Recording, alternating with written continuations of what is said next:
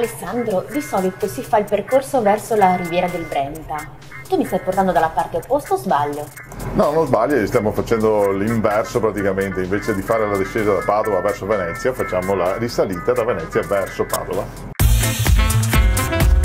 Oggi incontreremo Alessandro, che con la sua speciale imbarcazione ci farà fare un tour esclusivo per Padova. Solcheremo infatti il Battiglione e vedremo la città da una prospettiva totalmente nuova ed inedita.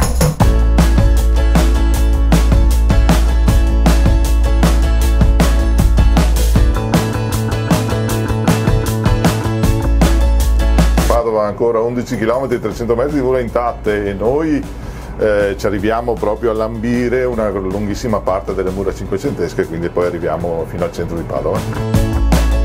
Vedo una villa qui sulla destra. Sì. Come si chiama questa villa? Questa è Villa Giovannelli, è la prima che si nota da Padova verso Venezia sulla sinistra idraulica eh, come prima villa delle 80 che si possono vedere lungo la riviera. Senti, invece stavo pensando, siccome qui la strada fluviale è abbastanza larga, non è che mi fai provare a guidare? Come no, puoi scherzare? Sì? No, Ti fidi? Guarda che puoi scherzare. Siamo su una barca burchiella. È una burchiella, è una, una vecchia imbarcazione che portava sasso da Monselice a Venezia. Si chiama eh, Casanova, mi dicevi prima, vero? Sì, Come mai gli hai dato questo nome? quando è stata trasformata da un'imbarcazione che trasportava sasso a un trasporto di passeggeri, eh, per collegarci al ragionamento di, eh, di questo signore che è fuggito dai piombi di Venezia assieme all'abate, ha navigato lungo la riviera del Brenta su una di queste imbarcazioni per arrivare fino a Padova e si chiamava appunto Casanova. Casanova, beh certo. Poi sono brava perché c'è il tecnico con il faro proprio lì e quindi ho una visibilità limitata.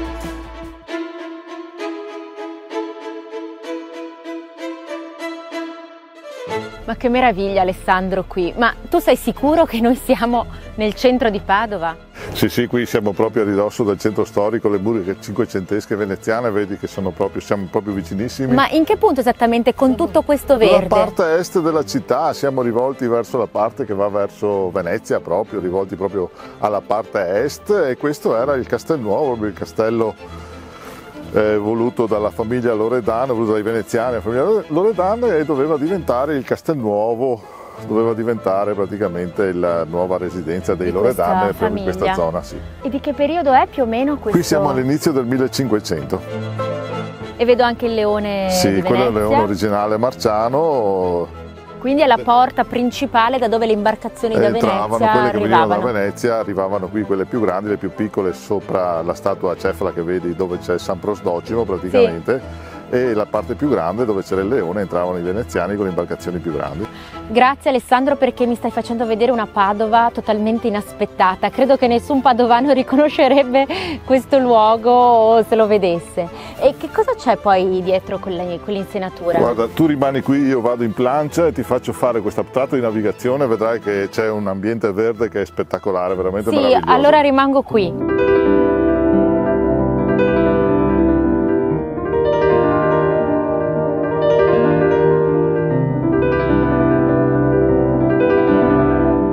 Alessandro, dove siamo arrivati ora che vedo questo ponte con queste scale?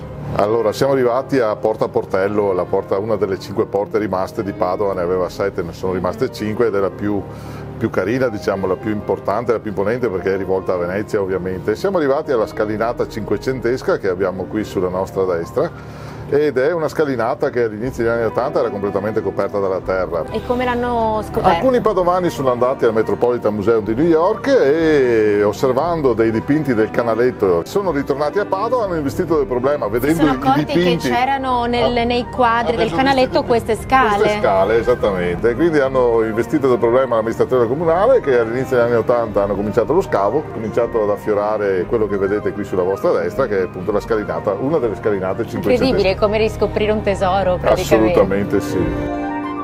Ce la facciamo a passare?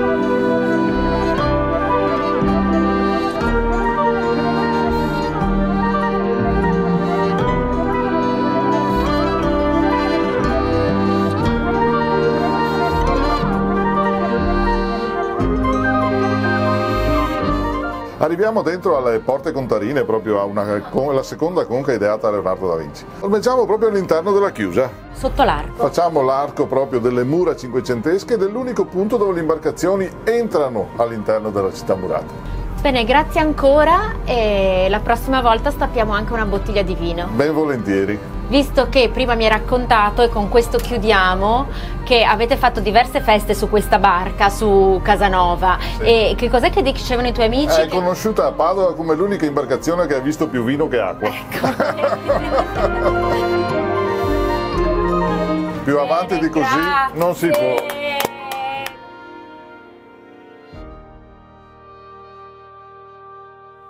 Mio viaggio di oggi termina qui, ma Monica e il team di Zero Consensi vi aspettano per il prossimo appuntamento. Ricordatevi di iscrivervi al nostro canale YouTube di Zero Consensi per restare aggiornati su tutte le novità.